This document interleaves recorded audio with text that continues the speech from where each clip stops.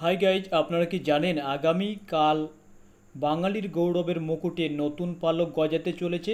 এবং হ্যাঁ এই ডিটেলস নিয়ে আপনাদের সামনে আজকের এই ভিডিও আমি উপস্থিত করছি। তাই বিস্তারিত দেখতে থাকুন প্রথম থেকে নিয়ে শেষ পর্যন্ত। পুরো জিকে এবং কারেন্ট অ্যাফার্স আপনাদের সামনে তুলে ধরবো এবং এখান থেকে পুরো জিকে এবং কারেন্ট অ্যাফার্স কিন্তু আপনারা বুঝতে পেরে যাবেন খুব সহজেই। যারা এই থামনেল দেখে হয়তো এতক্ষণ বুঝে গেছেন, কিন্তু তবুও আপনাদের আরও বিশেষ তথ্য জানার জন্য ভিডিওটি দেখতে হবে। চলুন দেখে নেব পুরো ডিটেলস বন্ধুরা, বেশ কয়েকদিন আগেই কিন্তু ঘোষণা করা হয়েছিল যে প্রণব মুখার্জিকে দেওয়া হবে ভারতের সব থেকে যে বড় সম্মান, নাগরিক সম্মান, সেই সম্মান দেওয়া হবে ভারতরত্ন প্রণব মুখার্জিকে। কিন্তু জানেন কি যে প্রণব মুখার্জির সাথে সাথে আরও দুজন এই সম্মানে ভূষিত হচ্ছেন তারা কারা? অবশ্যই আলোচনা করব। দেখুন, এখানে বলছে, ফের বাঙালির গৌরবের মুকুটে নয়া পালক।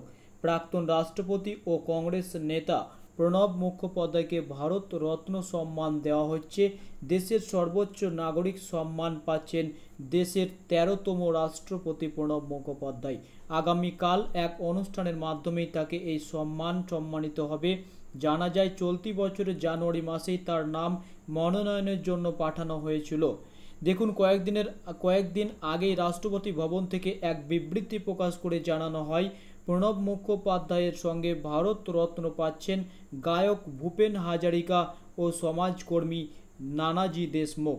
তো বন্ধুরা, দেখুন, আগামীকাল মানে আটই আগস্ট কিন্তু প্রণব মুখার্জি, ফর্মার রাষ্ট্রপতি প্রণব মুখার্জি কিন্তু ভারতরত্ন সম্মান পাচ্ছেন এবং তার সাথে সাথেই কিন্তু ভারতরত্ন সম্মান পাচ্ছেন গায়ক ভূপেন হাজারিকা এবং তারপরে পাচ্ছেন সমাজসেবী নানাজি দেশমুখ। অবশ্যই আপনাদের এখান থেকে কিন্তু তিনটি জিকে বেরিয়ে যাচ্ছে। বন্ধুরা, যে ভূপেন হাজারিকা এবং নানাজি দেশমুখ এবং প্রণব মুখার্জি কিন্তু আটই আগস্ট ভারত রত্ন সম্মানে ভূষিত হচ্ছেন।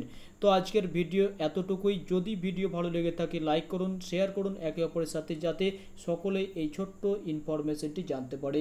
এবং যদি আপনি এরকম লেটেস্ট ভিডিও নোটিফিকেশান প্রতিবারেই দেখতে চান, অবশ্যই চ্যানেলটিকে সাবস্ক্রাইব করে নিয়ে পাশে পাওয়া বেল আইকন ক্লিক করে দেবেন। ধন্যবাদ বন্ধুরা সাথে থাকার জন্য।